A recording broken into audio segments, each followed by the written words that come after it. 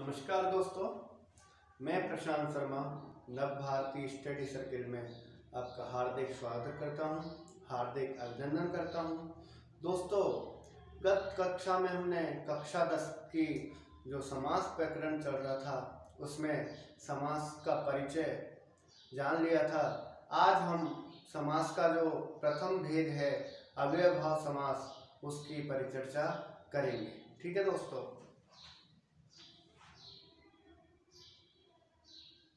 देखिए अव्ययभाव समास। कौन सा है? अव्ययभाव समास। यानी कि यदा विभक्ति समेत इत्यादिषु अर्थेषु वर्तमानम अव्ययम पदम सुबंतेन सह नित्यम समस्यते यदा असो अव्यय विभाव समासो भवति। यानी कि जब विभक्ति समीप इत्यादि अर्थों में क्या होता है? अर्थों में वर्तमान अवयव पद अवयव पद सुबंत के साथ नित्य समास हो जाता है। तथा इसी को हम क्या कहते हैं? अव्यभाव समास कहते हैं। ठीक है दोस्तों? है ना? और अश्य समास प्रथम शब्द अवयम द्वितीय संज्ञा शब्द भवती। इस समास का प्रथम शब्द अवयव होता है और द्वितीय शब्द क्या होता है? संज्ञा होता है। ठीक है ना? अव्यव शब्दार्थ अर्थात पूर्वक पदार्थ से प्रधानता भवती। यानी कि अवयव के अर्थ की अर्थात पूर्व पदार्थ की यानी पूर्व पद की क्या होती है? अवयव भाव समास में पूर्व पद की प्रधानता होती है। ठीक है ना दोस्तों? अब इसके बाद अपन चलते हैं। समास पदम द्वयम मिलित्वा भवती। यानी कि समास के दो पद मिलकर के क्या बनाते हैं? अवयव बनाते हैं। ठीक है ना? उसके बाद देखिए चौथा क्या है? अव्यय भाव समास नपुसकलिंग एक वचन भवती। अव्यय भाव समास में नवचलिंग का एक वचन होता है। ठीक है दोस्तों? ये कह रहा है कि दो अगर पदों को मिलाएँगे तो भी अव्यय भाव समास होगा, है ना? और जिस में प्रथम पद, पूर्व पद प्रधान होगा, उसे भी हम क्या कहेंगे? अव्यय भाव समास कहेंगे। और इस अव्यय भाव समास में नपुक संगलिंग एक वचन होता है। इसमें विभक्ति समीप इत्यादि अर्थों में क्या करते हैं हम? अव्यय भाव समास करते हैं, ठीक है ना? जैसे यथा विभक्ति समीप इत्यादि से तात्पर्य। यानी कि विभक्ति समीप इत्यादि से तात्पर्य क्या है? विभक्ति समीप समृद्धि समृद्धि का नाश, अभाव, नाश, अनुचित शब्द की अभिव्यक्ति पश्चात यथा क्रमशः एकदम समानता, संपत्ति, संपूर्णता, अंत इन सोलह में वर्तमान अवयव का सुबंत के साथ नित्य समास होता है। यानी कि जो कह रहा है ना कि जब विभक्ति यानी कि जितने ये जो सोलह आएँगे तो इसमें क्या होगा? अव्यय भाव समास हो जाएगा। ठीक है दोस्तों? देखिए, नित्य समास। प्राय जिस समास का विग्रह न हो, उसे क्या कहते हैं? नित्य समास कहते हैं। जिस समास का विग्रह नहीं होता है, उसे हम क्या कहेंगे? नित्य समास कहते हैं। अथवा प्राय जिसका अपने पदों से विग्रह नहीं होता है, होता अर्थात जिन शब्दों का समास हो, उन शब्दों के द्वारा जिसका विग्रह न हो, उसे क्या कहेंगे? हम नित्य समास कहेंगे। यानी कि जिन शब्दों का समास हुआ हो, उन शब्दों का क्या होता है? विग्रह नहीं होता है। उसे हम क्या कहते हैं? नित्य समास कहते हैं। यहाँ पर हमने अव्यय भाव के बारे में जान लिया है कि अव्यय भाव मतलब क्या, समास क्या होता है? नित्य, इसको नित्य समास भी कहते हैं। इसमें सोलह विभक्ति आदि, समृद्धि, नाश, अनुचित अंत संपूर्णता, संपत्ति, यथा, क्रमशः, एकदम, इन सभी सोलहों के साथ इनका समास किया जाता है। और समास दो पदों को मिलकर के एक अवयव बनाते हैं। उसको ये हम क्या कहते हैं? समास कहते हैं। ठीक है ना दोस्तों? यहाँ हमने अवयव भाव समास के बारे में मतलब जान लिया। अब इसका आगे देखते हैं। देखिए अव्यम अव्यशार्थ विग्रह समस्त पदम हिंदी अर्थ ठीक है ना? इसमें देखिए, अधि। अधि अवयव का सप्तमी विभक्ति अर्थ में हरो इति बन गया। तो इसका समस्त पद क्या बन जाएगा? अधि, हरि। और हिंदी में अर्थ होता है इसका हरि, में। ठीक है ना दोस्तों? यानी कि इसमें सप्तम विभक्ति है तो हरिति बना दिया और इसका समस्त पद जो है वो अधि हरि, क्योंकि अवयव क्या है? अधि। तो इसका क्या बन गया? अधि हरि। ठीक है ना दोस्तों? उसके बाद देखिए, उप। उप क्या होता है? समीप के अर्थ में है। उप कृष्णम बन जाएगा इसका, जैसे कृष्ण से समीपम। तो उप क्या है? अपना अवयव है। तो उप अवयव को अपन लगाते ही समीप अर्थ में हो जाएगा। तो ये क्या हो जाएगा? कृष्णम उप कृष्णम। तो कृष्ण के समीप। ठीक है ना दोस्तों? यानी कि इसको हमने उप उप को क्या लिया? समीप के अर्थ में लिया। तो इसका बन गया कृष्ण के समीप उप कृष्णम और कृष्ण समीपम। ठीक है ना? इसके बाद देखते हैं अपन। अनु योग्यतार्थे यानी कि अनु है योग्यता के अर्थ में। ठीक है दोस्तों? अनु क्या है? अनु जो अव्यय पद है, वो किसके अर्थ में? योग्यता के अर्थ में। रूपस्य योग्यम। रूपस्य योग्यम यानी कि रूप के योग्य या अनुरूप। समस्त पद इसका बन जाएगा अनुरूपम। समस्त पद क्या बन जाएगा इसका? अनुरूपम। रूप के योग्य, ठीक है ना? योग्यता के अर्थ में क्या? योग्यता के अर्थ में हो गया अपना, समीप के अर्थ में हो गया, और अधिक के भी अर्थ में हमने जान लिया है, ठीक है ना? इसके बाद में देख, आगे देखते हैं। प्रति के अर्थ में, प्रति प्रति में क्या होगा? दिनम दिनम प्रति, यानी कि बीस पार्थे बी विपसार्थे, यानी कि प्रतिदिनम यानी कि प्रतिदिन का मतलब होता है प्रत्येक दिन या दिन पर दिन ठीक है ना? यानी कि इसका हमने देख अनु का देख प्रति का देख लिया प्रति जो अवयव है वो दे, मतलब इसको प्रतिदिनम बना रहा है ठीक है ना? इसका हिंदी में हो गया दिन दिन। इसके बाद नेर का देख लीजिए। नेर अभावार्थे मक्षिका नाम अभाव। तो इसका हो गया निर्मक्षिकम निर्मक्षिकम, ठीक है ना? तो मक्खियों का मक्ष, मक्षिकम क्या मतलब अर्थ क्या होता है? मक्खियाँ। तो इसमें क्या हो गया? मक्षियों का अभाव। ने का मतलब होता है नहीं, ठीक है ना? तो मक्खियाँ नहीं होना तो ठीक है ना? देखो, निर अभाव के अर्थ में इसको करना है तो मक्ष का नाम अभाव। तो निर्मक्षकम मक्खियों का अभाव। ठीक है दोस्तों? इसके बाद देखिए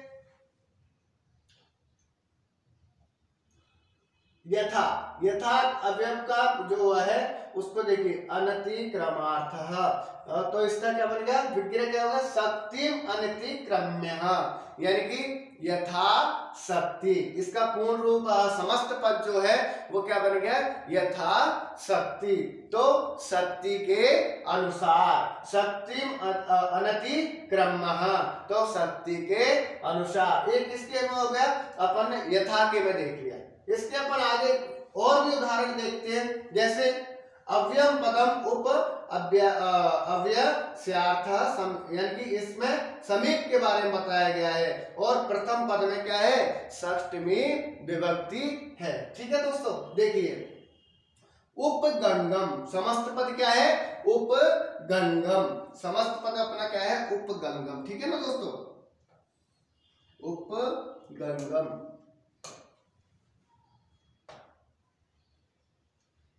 उपगंगम। तो उपगंगम क्या? गंगाया समीपम। उप के, उप का अर्थ किसमें हो रहा है? वहाँ पर अपन ने देखा था उपकृष्णम, यानी कि उप का अर्थ होता है समीप में। ठीक है ना? तो हिंदी में क्या बोलेंगे इसको? गंगा के समीप। ठीक है दोस्तों? अब अपन आगे देखते हैं। उपगु। उपगु का क्या होगा? उपगु का होगा अपने गाव समीपम। उपगु का मतलब होगा गाय के समीप। गु यानी क्या होता है? गाय के समीप। ठीक है ना?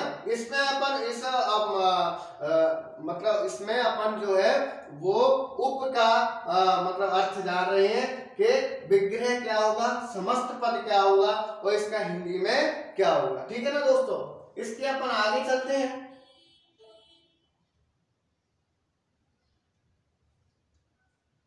देखिए।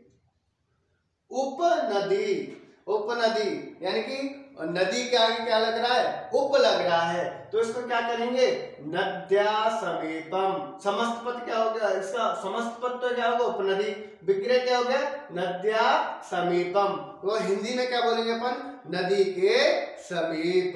ठीक है दोस्तों? इसके बाद देखिए, उपकृष्णम, यानी कि कृष्ण के समीप। इसके बाद देखिए, उप य मु नमम। उपय मुनम। उपन उपय मुनम। यानी कि इसमें ये कह रहा है कि उप यानी उप जो है, वो अपन ने क्या कर दिया? उस, उसको लगा दिया और इसके बाद में क्या हो गया? यमुना के समीप। इसमें हो रहा है यमुना के समीप। ठीक है दोस्तों? इसके बाद में देखिए, समस्त पद देखते हैं। अनुरथम अनुरथम, ठीक है ना? अनुरथम। अनुरथ का क्या हो गया? इसमें रथस्य पश्चात, यानी कि रथ के पीछे। इसमें अपन अनु का जो है, वो अवश्य अर्थ कर रहे हैं। इसमें योग्यता के अर्थ में। योग्य योग्य के अर्थ में अपन करेंगे प्रथम पद में षष्टी विभक्ति। योग्य के अर्थ में कौन सी करेंगे प्रथम पद में षष्टी विभक्ति। तो रथस्य रथ के पीछे, ठीक है ना? उसके बाद में अनुग्रह तो ग्रह पश्चात, यानी घर के पीछे, ठीक है ना? इसमें जैसे रामस्य रामस्य तो क्या? रथस्य। ठीक है? ग्रहस्य षष्टी विभक्ति प्रथम पद अपन को करना है। तो प्रथम पद राम की क्या होगी? रामस्य। ठीक है ना? उसके बाद में देखिए, अनु विष्णु। तो समस्त पद क्या हो गया अपना? अनु विष्णु। इसके बाद में अपन विग्रह इसका करेंगे। तो क्या करेंगे? विष्णु पश्चात, यानी कि विष्णु के पीछे। ठीक है ना दोस्तों? यहाँ पर अपन अनु का कर रहे हैं, पश्चात के अर्थ में कर रहे हैं। ठीक है ना? इसके बाद देखिए अनु जनकम तो जनकस्य पश्चात यानी कि पिता के, जनक यानी होता है पिता पिता के पीछे। ठीक है ना दोस्तों? इसमें हमने षष्ठी विभक्ति और प्रथम पद में क्या है, जो इसमें प्रथम पद जो है, उसमें षष्ठी विभक्ति को लगा दिया है और अनु का मतलब होता है पीछे। पश्चात के अर्थ में पीछे का अर्थ लगाया है। ठीक है ना दोस्तों? इसके बाद देखते हैं अवयवम प्रति अव्यस्यार्थ अर्थे उत्तर पद को दो बार प्रथम पद में द्वितीय सप्तमी विभक्ति। यानी कि इसको क्या करना है? प्रत्येकम। समस्त पद क्या है अपना? प्रत्येकम। ठीक है ना दोस्तों? प्रत्येकम। तो इसका क्या विग्रह क्या हो गया? एकम एकम। तो इसका हिंदी अर्थ में हो गया एक एक। प्रत्येक का मतलब एक एक। यानी प्रतिदिनम का भी एक एक ठीक है ना मतलब दिन दिन ठीक है ना दोस्तों? इसके बाद देखिए प्रतिपादम प्रतिपादम। तो समास विग्रह क्या हो गया इसका? पा, पादम पादम। यानी कि पाद पाद। यानी कि पैर पाद पाद का मतलब होता है पैर पाद का मतलब होता है पैर। ठीक है ना दोस्तों? प्रतिमासम। तो मासम मासम मासम मासम या मासे मासे। यानी कि मास का मतलब होता है महीना। यानी मास मास, यानी कि कुछ भी अपन इसमें मासम मासम भी लिख सकते हैं या मासे मासे भी लिख सकते हैं। तो इसका हो गया मास मास। ठीक है ना? इसमें प्रति का क्या है? इसमें प्रति के अपन अवयव लगा रहे हैं। ठीक है ना दोस्तों? इसके बाद में प्रति अर्थम प्रति अर्थम का मतलब क्या होता है? अर्थम। अर्थ के अर्थ में इसका विग्रह तो इसका विग्रह हो जाएगा अर्थम। अर्थम। और हिंदी में क्या बोलते हैं इसको? अर्थ अर्थ। इसके बाद प्रतिक्षणम। प्रतिक्षणम तो क्षणम क्षणम या छड़े छड़े ठीक है ना दोस्तों? तो इसका क्या हो जाएगा? छड़ क्षण। ठीक है? प्रति मासम आ गया। प्रतिदिनम आ गया, ठीक है ना? और एकम आ गया, और फिर उसके बाद में अपन ने क्या देखा? क्षणम छड़े तो इसमें क्या हो गया? प्रथम पद में द्वितीय या सप्तमी विभक्ति भी अपन कर सकते हैं, ठीक है ना? मासम या मासे भी अपन कर सकते हैं, ठीक है ना दोस्तों? क्षणम चढ़े। क्षणम क्षणम या छड़े छड़े द्वितीय भी कर सकते हैं, और सप्तमी भी अपन कर सकते हैं प्रति के अर्थ में, ठीक है ना? प्रति अवयव जो है उसके अर्थ में। ये तो अपन अब इसके आगे और चलते हैं अपन?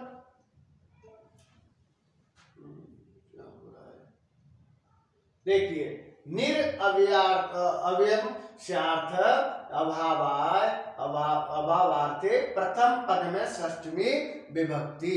यानी कि इसमें क्या कह रहा है कि प्रथम पद में कौन सी विभक्ति होगी? षष्टमी विभक्ति को हम करेंगे। ठीक है ना?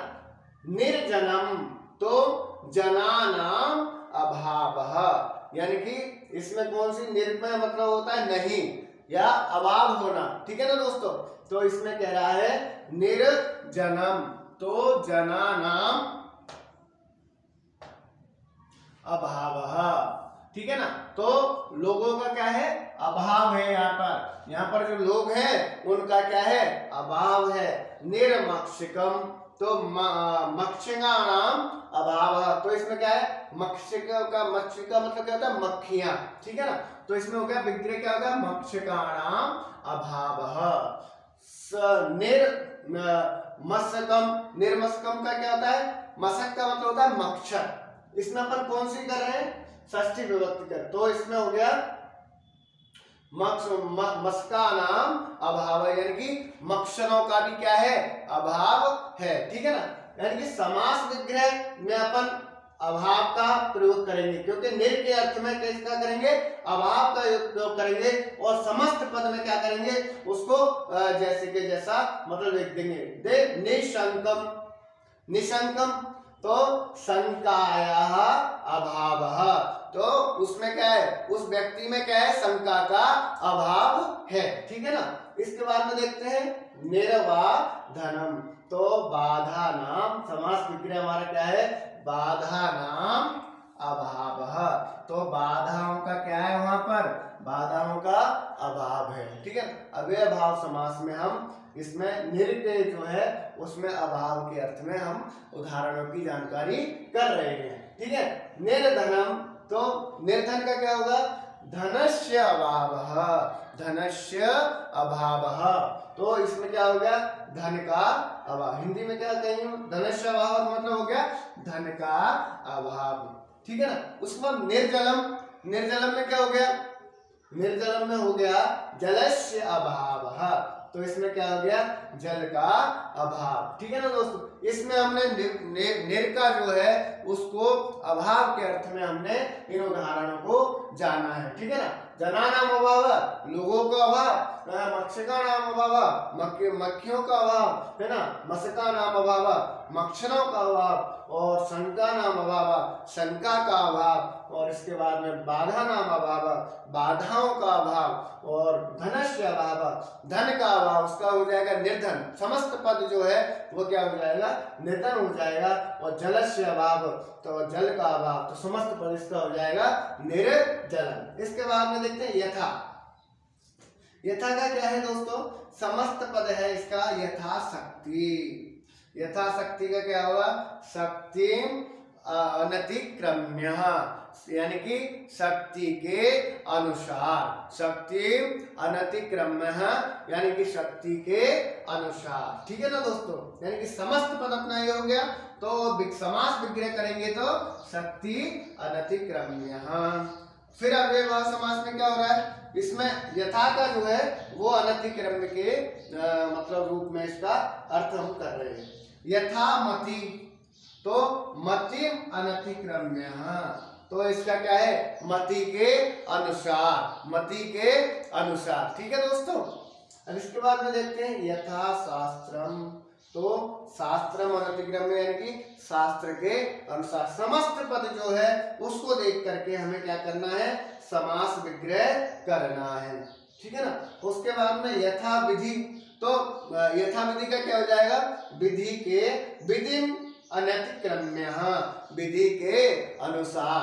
ठीक है ना? उसके बाद में यक्षम यक्षाम अनतिक्रम्य। तो इच्छा के अनुसार। यक्षम का मतलब होता है इच्छा, है ना? और इसका यथा का मतलब होता है अनतिक्रम्य।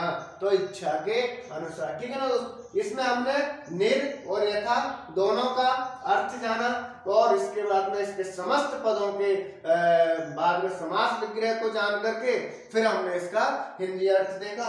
फिर उसके बाद अवयव जो है, उसको यथाशक्ति को शक्ति मनति के शक्ति के अनुसार, यथामति मति अनतिक्रम मति के अनुसार यथा शास्त्रम शास्त्रम अनतिक्रम शास्त्र के अनुसार, है ना? यथा विधि विधि अनतिक्रम्य, विधि के अनुसार। ठीक है ना दोस्तों? ये यथे क्षम इच्छा अनतिक्रम, यानी कि इच्छा के अनुसार ये हम क्या देख रहे हैं? अव्यय भाव समास में देख रहे हैं। ठीक है ना? अब आगे चलते हैं। देखिए दोस्तों अव्यम पदम स अव्यव सहितम। प्रथम पद में क्या है? तृतीय विभक्ति होती है। ठीक है ना? इसका अपन क्या में करेंगे सहितम में ठीक है ना? देखिए। इसमें है सचरित्रम। सचरित्रम। तो इसमें हम स, स, का जो अर्थ है वो सहितम के अनुसार ले रहे हैं और तृतीय विभक्ति हमें करनी है। ठीक है दोस्तों? देखिए। सचरितम का मतलब होता है चित्रेण सहितम। तो अपना, अपन ने समस्त पद का जो विग्रह किया, वो किया, क्या किया? चित्रेण सहितम, है ना? तो चित्र के सहितम का मतलब होता है साथ। तो इसका हिंदी अर्थ में, हिंदी में क्या बोल देंगे इसको? चित्र के साथ और समस्त पद लिखेंगे सचित्र ठीक है? इसके बाद स हृदयम स हृदयम तो हृदयन समास करेंगे हम इसका। हृदयन सहितम। हृदयन क्या करेंगे दोस्तों? सहितम। तो इसका क्या हो जाएगा? हृदय के साथ। ठीक है ना? उसके बाद में सशस्त्रम, शास्त्रेण सहितम। यानी कि इसमें शास्त्र जो है, उसके साथ में कर रहे हैं। इसका समास विग्रह हो गया, सशस्त्रम का समास विग्रह क्या हो गया? शास्त्रेण सहितम। है ना? शास्त्र के साथ। उसके बाद में सधर्मम। सधर्मम यानी कि धर्मेण सहितम। यानी कि क्या हो जाएगा दोस्तों? सधर्मम का हो जाएगा धर्म के साथ। और इसका समास विग्रह क्या हो जाएगा? धर्मेण सहितम। ठीक है दोस्तों? इसके बाद में अपन देखते हैं। शास्त्रम यानी कि शास्त्रम शास्त्रम सअस्त्रम यानी कि अस्त्रेण सहितम। यानी कि अस्त्रम का मतलब क्या होता है? अस्त्र के साथ। यानी कि अपन इसको, इसमें स के अर्थ को सहितम में, यानी साथ में ले रहे हैं तो इसका समास विग्रह में हम क्या करेंगे? सहितम लगा देंगे। तो इसका हिंदी में क्या हो जाएगा? यानी कि सचित्रम। चित्रे सहितम तो चित्र के साथ। सहृदय, हृदय सहितम तो हृदय के साथ, ठीक है ना दोस्तों? सशास्त्रम शास्त्रेण सहितम तो शास्त्र के साथ, और सधर्मम तो धर्मेण सहितम तो क्या होगा दोस्तों? धर्म के साथ, और अशस्त्रम अशस्त्रम का मतलब शस्त्रेण सहितम, यानी कि शस्त्र के साथ, जिसमें हमने समास समस्त पद को देखा, फिर उसके बाद में विग्रह किया, फिर उसके बाद में हमने हिंदी अर्थ इसका कर लिया। ये अव्यय भाव समास में जो यथा और स, निर और इसमें क्या बोलते हैं? उप, इन इत्यादि जो विभक्तियाँ मतलब हैं, उनको हमने देखा। ये षष्ठी विभक्ति की, फिर इसमें हमने तृतीय विभक्ति कर दी, है ना? और इसमें मतलब अवयव के अनुसार क्या करते हैं हम? इसको अर्थ विग्रह को किया जाता है। ठीक है दोस्तों? अब हम ठीक है ना? ये हमारा अव्यय भाव समास जो है यहाँ पर संपूर्ण होता है। आ, आ, अगली जो कक्षा है हमारी वो तत्पुरुष समास की है। उसमें हम कर्मधारी समास और दिगु समास दोनों के बारे में पढ़ेंगे। ठीक है दोस्तों? और आज के लिए इतना ही। धन्यवाद।